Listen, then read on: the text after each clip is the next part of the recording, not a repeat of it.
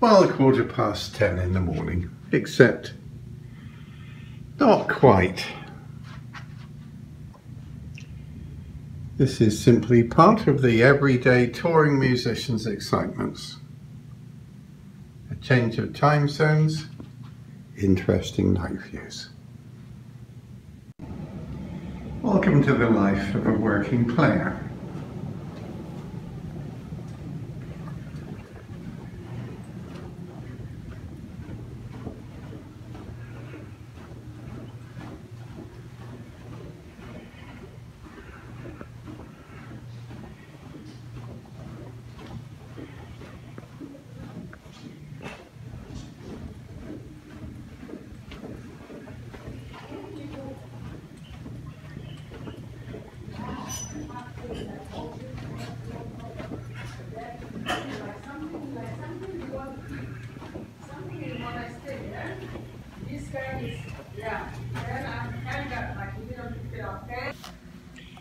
So there has been a, a, lot of expression of interest in the operation of the right hand. We assume we have a left hand, we assume we have a right hand, we assume the two coordinate together.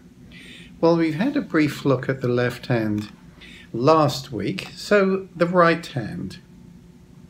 So first of all, the positioning of the right hand.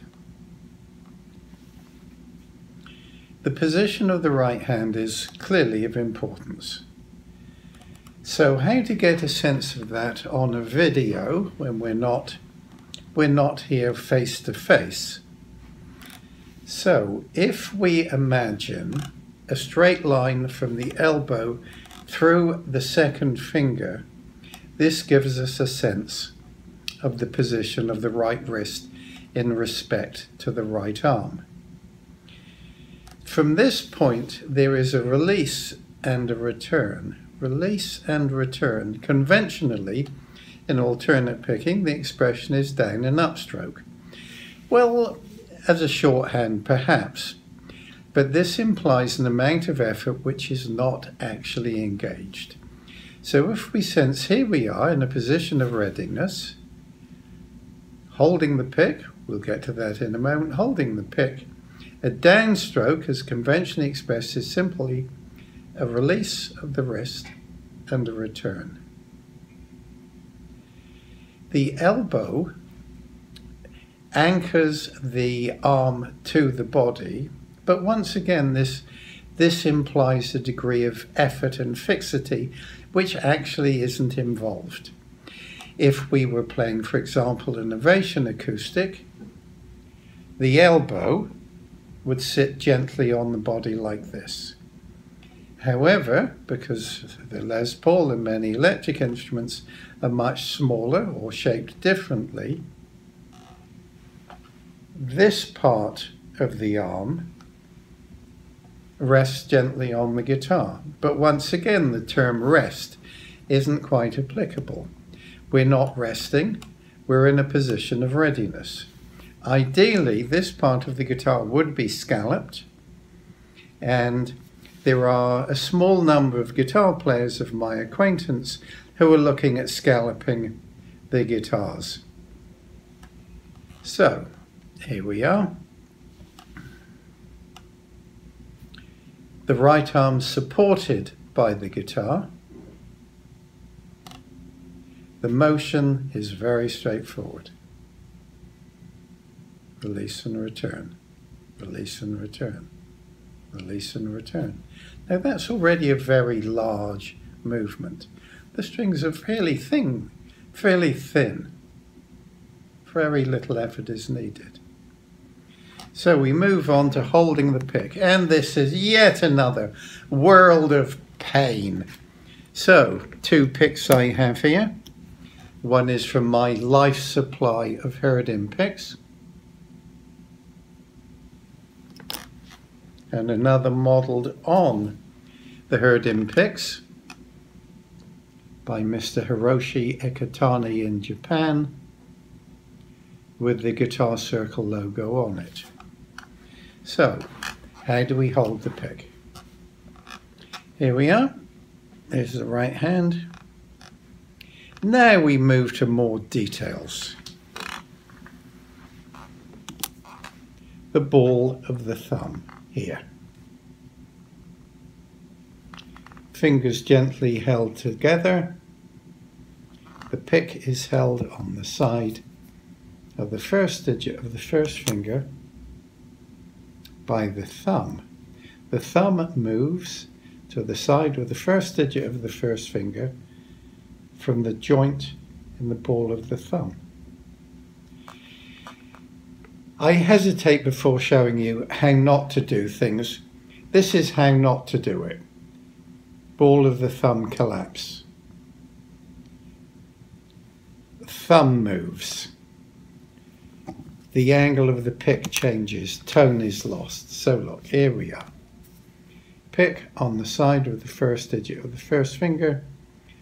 Thumb moves from the thumb joint Now, my first finger digit is twisted. This is congenital. If my first finger joint were not slightly twisted, I would be holding the pick like this. But my first finger joint is twisted, so here we have it.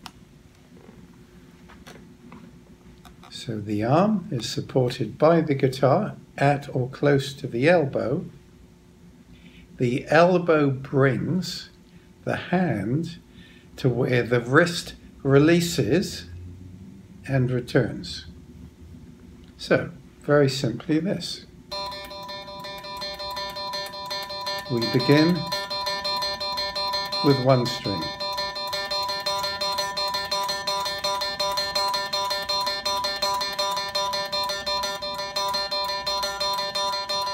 We move to two strings.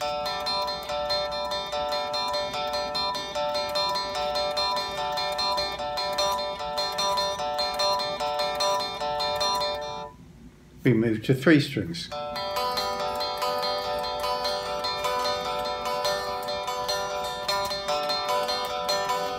At this point, the elbow is employed.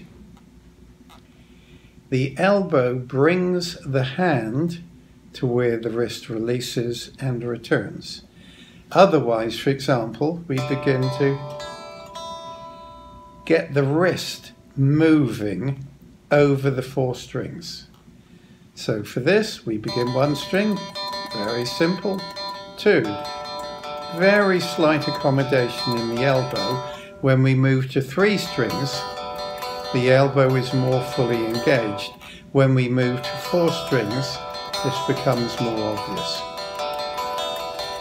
In a sense, there is a slight throwing of the hand. Once again, I hesitate before showing common errors and mistakes. This is one of them. The wrist is twisted up. Here is another one. The wrist is thrown down.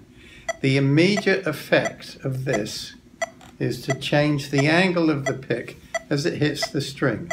So for example on a, a wang string becomes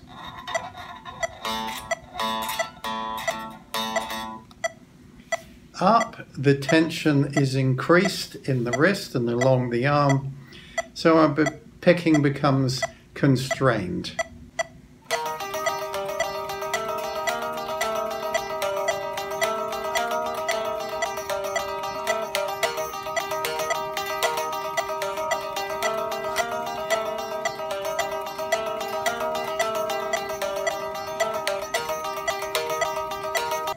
And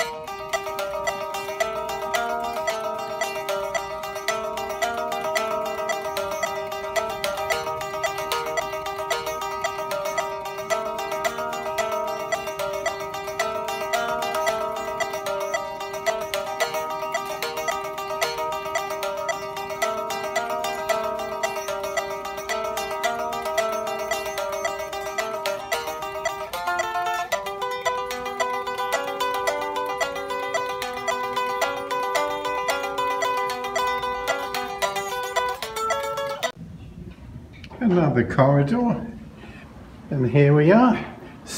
technical preparations for that awful man and his very nice manager.